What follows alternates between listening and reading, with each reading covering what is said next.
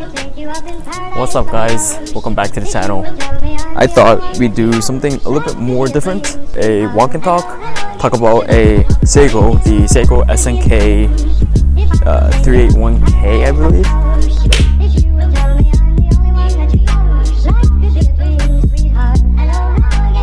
So I don't need another Seiko. I don't need another Seiko 5. I purchased it uh, with no real expectations. I just needed a watch to modify. And the SNK 381K has a great base to work with. I actually needed the dial for an order, but I'm left with the case. And it's turned out to be my most, uh, or the favorite case I've ever tried in any SNK model. So some basic specifications, it's 37 millimeters in case diameter, 11 millimeters high, 18 millimeters lug to lug width with a stainless bracelet, 21 jewel 7S26 movement, Hardlex crystal with a Hardlex display back, and a 30 meter water resistance. So it's good for splashing and rain, but don't take it in the water.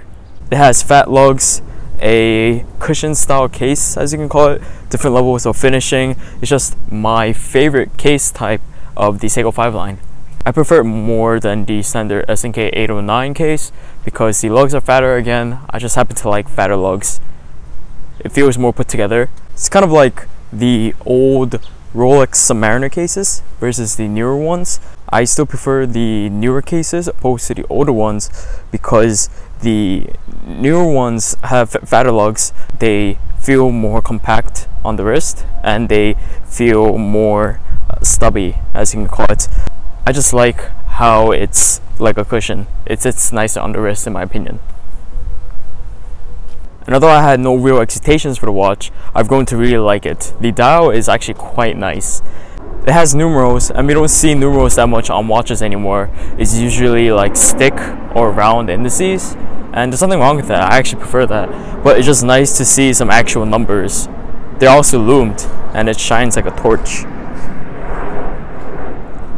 The numerals are also outlined in polished stainless, so it has a nice shiny effect. The hands are leaf-shaped hands, also outlined in polished stainless and filled with Seiko's Lumibrite. The black date wheel also matches the dial quite well. I liked how they used the black wheels instead of the white ones. I hate the Seiko 5 logo. I don't like the 5 badge. I think it completely the dial.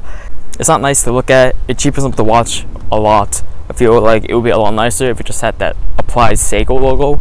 Look how nice it looks without it. Things I hate the most, I hate adjusting that bracelet. It is the most annoying bracelet to adjust. I rather have a pin and collar system opposed to that little L-shaped hook they have to push out. It's a horrible system.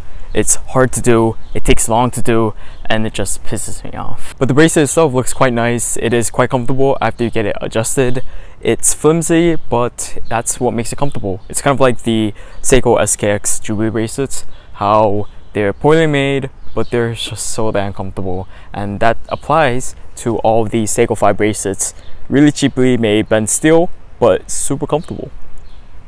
It's kind of like the old Rolex uh, Oyster bracelets and Jubilee bracelets. They're not the best constructed, however, they're really comfortable.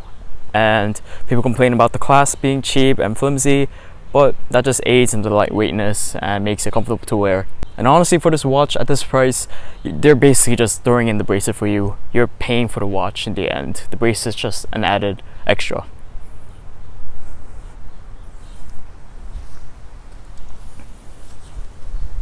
So just to recap, I like the case shape with the fat lugs, the different levels of finishing and edges. That's the case is brushed and polished, so it looks like they spent a little bit more time in the design and it definitely shows up nicely on the case.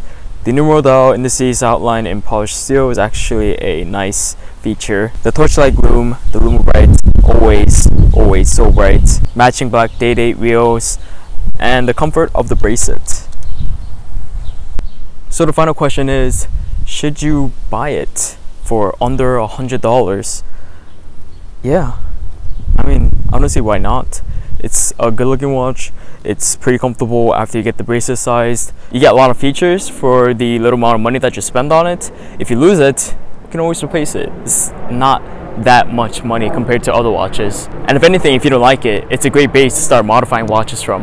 You have a really nice case, really nice hands, you have a unique dial that can look good on any 7S26 or 4R36 movement or 6R15 or whatever those Seiko movements.